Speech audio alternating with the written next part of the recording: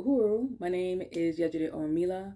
I am a member of the African People's Socialist Party, the president of the African National Women's Organization, which is an organization that was created by the African People's Socialist Party in 2015 to organize African women into revolutionary political life so that we can fight our special oppression, which is caused by the colonial mode of production.